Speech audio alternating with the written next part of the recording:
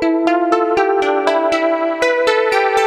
Welcome back to crazy TV 24 well दोस्तों, शिवानी कुमारी समझ चुकी हैं कृतिका मलिक की असलियत कि आखिर वो क्या करना चाह रही हैं बिग बॉस के घर के अंदर, जिससे सारे कैमरा फोकस करे कृतिका मलिक को।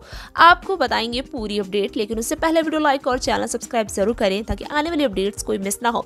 जब से विशाल को थप्पड़ पड़ा है, उसके बाद से इंसिडेंट जो हुआ, शिवानी ने हमेशा ही विशाल को सपोर्ट किया और ये कहा कि एक गलती से क्या किसी की लाइफ थोड़ा खराब कर दी जाती है और इसके बाद अब सुबह गार्डन एरिया में कृतिका मलिक एज यूजल बहुत ही टाइट और चुस्त कपड़े पहनकर आ जाती हैं जिम करने।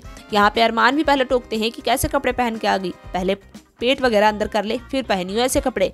तो वो कहती हैं, ओके गुड्डू। देन उसके बाद शिवानी यहाँ पे उन्हें बहुत ध्यान से देख रही होती है, जो भी कृतिका एक्सरसाइज वगैरह कर रही थी।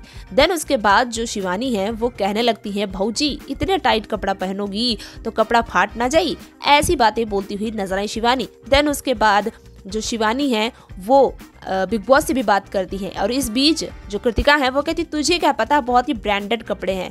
तो शिवानी कहती, मुझे ब्रांड ब्रुंड नहीं पता। हमको तो ये पता है कि कपड़े कैसे हैं। इसके साथ ही साथ शिवानी जो है बिग बॉस के साथ कैमरे से बात करती है और कहती, देखो भाजी, पहले खुद इस पहनती हैं कपड़े और एक्सरसाइज करती हैं। खुद ही चाहती हैं कि सब इनकी तारीफें करें।